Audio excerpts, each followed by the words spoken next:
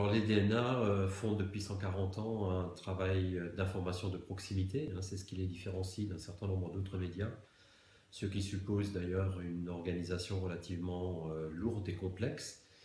puisque comme vous avez pu l'apprendre par ailleurs, il y a 500 personnes à peu près qui travaillent dans l'entreprise, un petit peu plus, dont 140 journalistes, mais auxquels il faut ajouter 1600 à 1800 correspondants euh, ce qui permet précisément de faire le travail de proximité euh, que j'évoquais tout à l'heure. Alors ceci se traduit notamment par le fait que tous les jours nous réalisons 19 euh, éditions géographiques différentes, ce qui quelque part fait de nous les champions du, monde toute catégorie, puisqu'aucun journal régional ne, ne, donne à ses lecteurs un maillage aussi fin du terrain que celui que nous faisons nous. Et encore, euh, a quelques années, nous ajoutions à ces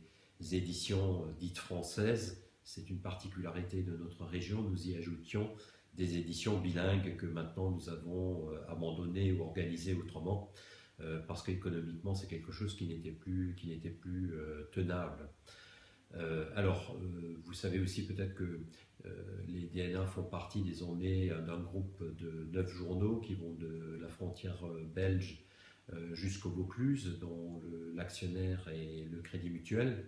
Euh, le fait de travailler en communauté avec ces autres journaux euh, nous a permis ces dernières années de faire plus particulièrement face aux, nouvelles exigences technologiques, hein, notamment pour ce qui concerne le, web, mais aussi nous a permis de rationaliser le recueil et la production de l'information euh, par exemple, pour tout ce que nous appelons l'information euh, euh, internationale, nationale, ce que nous appelons dans notre métier les, les infos gênées, qui sont désormais réalisées pour l'ensemble de ces neuf journaux par une équipe d'une trentaine de journalistes.